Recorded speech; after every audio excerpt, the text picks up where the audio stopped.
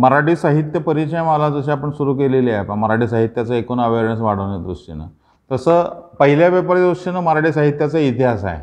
आणि मराठी साहित्याच्या इतिहासामध्ये निरनिळ्या प्रकारचे कवी लेखक नाटक कादंबरीकार नाटककार या सगळ्यांचा अभ्यास असतो. त्यावर प्रश्न विचारले जातात. मग त्याच्या अनुषंगानं साधारणतः आपल्याला कोणकोणते कवी समजून घेता येईल नाटककार समजून घेता येईल प्राचीन वाङ्मयाचा इतिहास आहे. अर्वाचीन वाङ्मयाचा इतिहास आहे.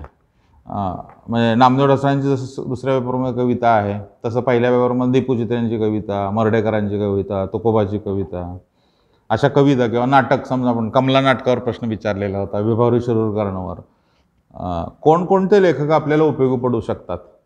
याच्या अनुषंगानं मराठी साहित्याचा इतिहास असा एक नवीन आपण मराठी साहित्याचा इतिहास असा एक नवीन उपक्रम आपण सुरू करतो आहोत मार्गेजनामार्फत. आणि मराठी साहित्याच्या इतिहासमध्ये निरनिळ्या कवी महत्त्वाचे कवी नाटककार आणि त्यांच्या आधारे त्याच्यावरचं कॉमेंट जी आहे ती आपण लक्षात घेणार आहोत.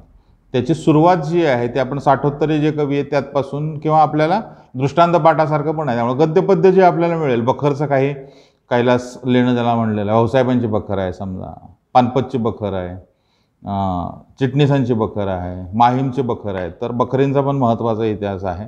याचा परिचय करून घेणं किंवा त्याच्याविषयीची प्रत्यक्ष काय होतं कलाकृतीमधल्या काही कलाकृतींचे संदर्भ वाचणे जे आहे हे आपण किंवा प्रत्यक्ष काही कविता वाचणे नाटकांमधले काही जर ज्याला आपण संवाद वाचले त्यामुळे त्याचा अंदाज आहे. आंधळ्यांची शाळा आहे समजा त्यातले संवाद वाचले आपण तर तुम्हाला त्याचा एक अंदाज येऊ शकेल जी आहे. या अर्थानं आपण सगळ्याचा जास्तीत जास्त स्कोप काय आहे लक्षात तुमच्या येण्याच्या दृष्टीनं?